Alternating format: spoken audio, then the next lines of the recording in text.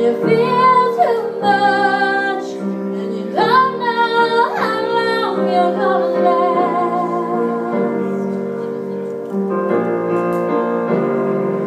Everyone you know is trying to slow